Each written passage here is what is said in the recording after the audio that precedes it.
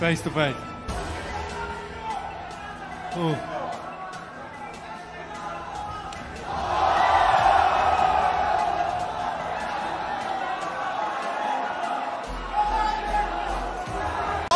Kurwa!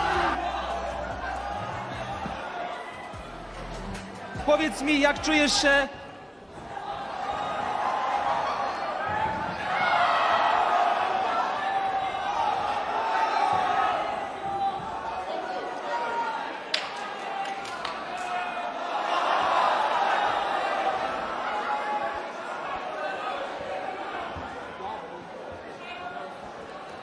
W tym pojedynku na pewno nie przemówią słowa, tu będą przemawiać pięści.